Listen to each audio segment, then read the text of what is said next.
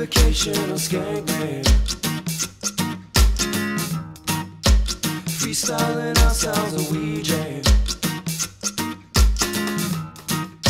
Stripping it back to the roots of the. Well, we've just had a few days here on number 16, uh, working out how we're going to get rid of it safely, really. Uh, got a few different things going on. We've got some netting around it and some big fencing around it too, trying to pull it back into the hillside. And then Adrian and I went through it and filled it through a holes, full of holes. And Marty's now selecting which holes he's going to use put the uh, non-X explosives in. And we're going to have a little firework party this afternoon, hopefully. Not too much of a party though. Hopefully it's all melodramatic and it just kind of clumps into the hillside and that's it. Yeah, should be good. As long as it all goes bang together, it'll be alright. Uh, misfires, but technically we shouldn't get misfires with this system. So uh, should be no problem. Bit of a big anti-climax. Everybody will sleep better.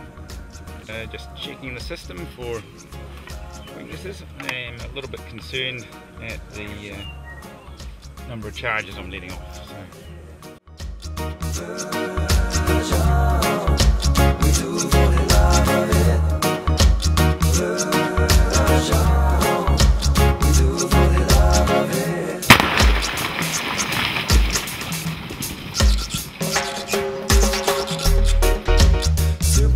Of skank man.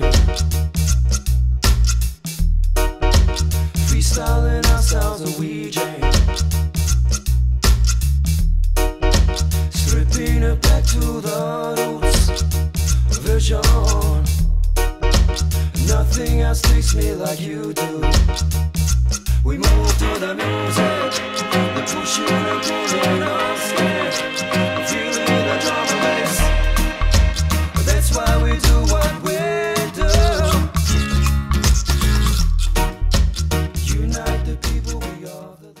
obviously I had total confidence in my abilities with that one. Certainly showed another professional blast by Solutions 2 Access. I'm going to sit down and have a bit. The relief, Oh, I think. You need a day off now. Yep. But went as planned. Wonderful. Wonderful. Nothing else takes me like you do. We move to the music,